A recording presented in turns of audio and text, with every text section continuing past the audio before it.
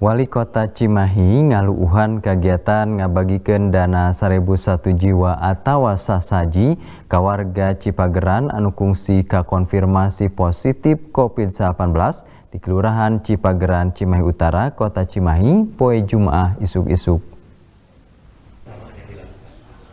pernahna di Aula Kelurahan Cipageran Cimahi Utara Kota Cimahi Wali Kota Cimahi Ajay M Priyatna nyalurkan dana sasaji atau sarebu satu jiwa anu mangrupa salah saji program inovasi intervensi COVID Kelurahan Cipageran anu ditujukan ke warga khusus Cipageran anu kungsi katerap COVID-19 Turki Wari Cager.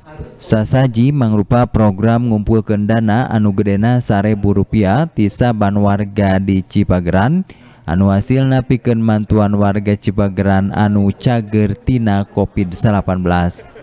Ajay M. Priyatna nembrakeun dirina kacida ngapresiasina kana naon anu geus dilakonan ku warga Cipageran.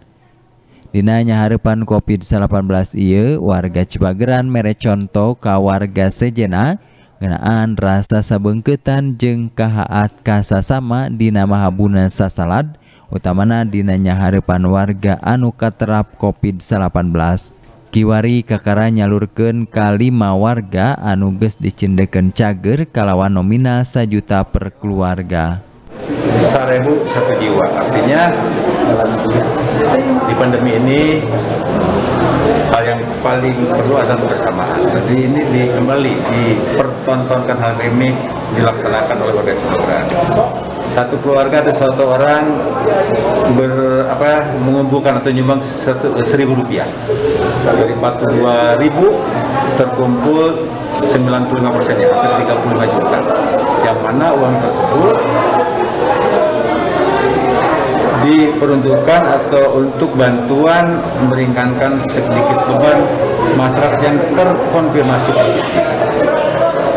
Itu eh, karena dulu juga ada peristiwa yang baik di salah satu RW 10 tepatnya bagaimana keguyuban juga dilaksanakan oleh warga Cimahi Sekogeran sajeroning Kitu Kelurahan Cipageran Nembraken miangtina kasadar masyarakat Cipageran piken Sili Tulungan kawarga Sejena anu katerap COVID-19 turta rasa sabengketan di papada warga di Kelurahan Cipageran.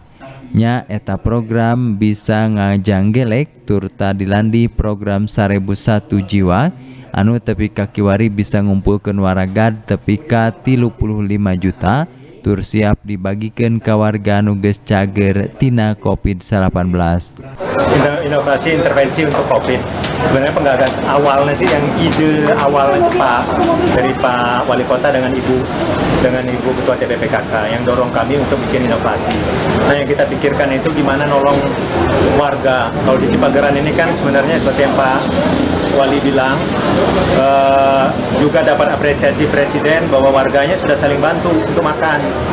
Untuk urusan makan yang diisolasi nggak usah takut, nggak bakalan kelaparan. Algi Muhammad Gifari, Bandung TV.